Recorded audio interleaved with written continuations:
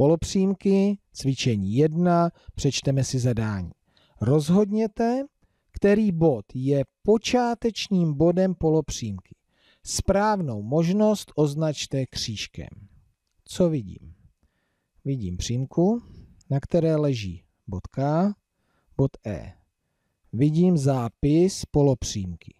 Polopřímka K, E a já mám určit, jestli počáteční bod je bod K nebo bod E.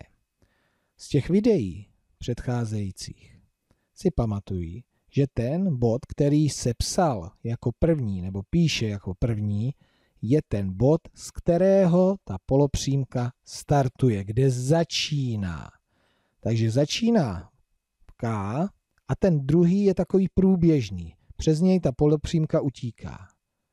Takže to je takováhle polopřímka, já ji můžu protáhnout kamkoliv.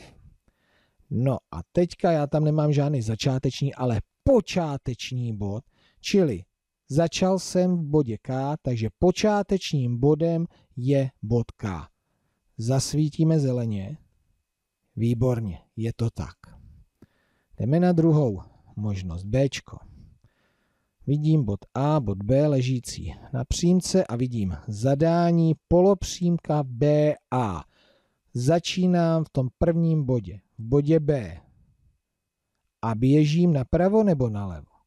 Běžím nalevo, protože dalším bodem, který leží na té polopřímce je bod A a ten leží vlevo od bodu B.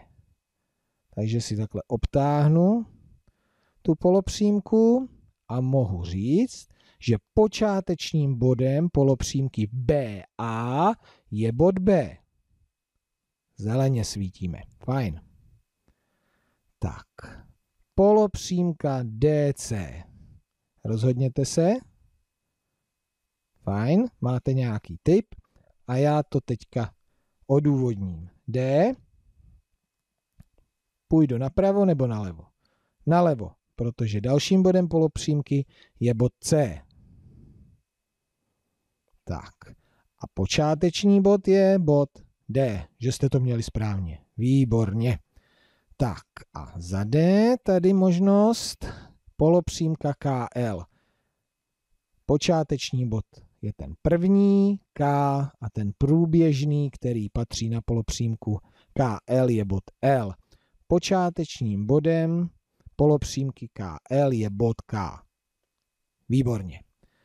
Co jsem si teďka prověřil, nebo co jsem se naučil? Naučil jsem se ze zadání poznávat, který bod je počátečním bodem polopřímky. To je moc důležité, protože potom ten druhý bod, který je zatím, určuje směr té polopřímky. Jestli to jde doprava, doleva, možná nahoru, dolu, šikmo, uvidíte. Pamatujte si tedy, že počáteční bod polopřímky je ten bod, který se píše za zkratkou jako první.